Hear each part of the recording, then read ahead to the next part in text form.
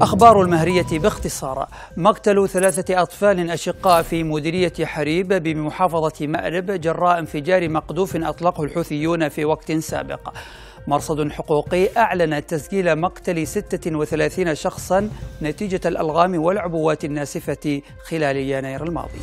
مسلحون مجهولون يختطفون فريقا تابعا للأمم المتحدة في طريق بين مديرية موديا والوضيع جنوب شرق أبين المسلحون اعترضوا سيارة فريق الأمن والسلامة فيما بدأت قوات حكومية حملة لتحرير الموظفين.